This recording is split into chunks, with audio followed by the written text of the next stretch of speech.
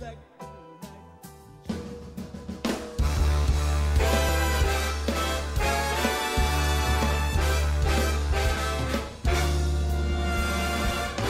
you met Miss Jones?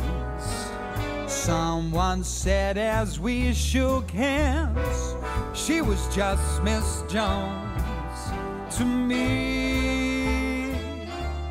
I'm delighted. Um, you know, they're both really good friends of mine, and uh, great that they've found each other at last. Yeah, brilliant. brilliant. This is uh, Pauline, by the way. Paula. Paula. Paula. Paula. Sorry. Yeah. Whoa, fellas!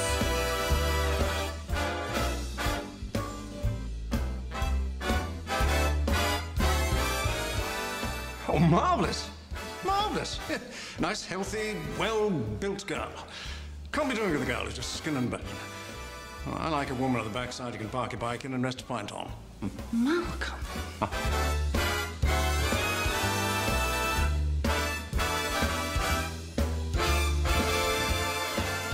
Well, obviously, I'm disappointed.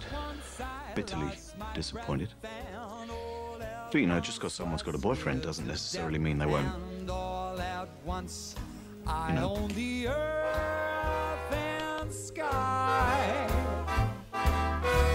Now I've met Miss Jones, and we'll keep on meeting. No, no, no. There's absolutely no business, no hard feelings. Um, I just think it's great that in the same month that Bridge found Darcy, I found Melanie.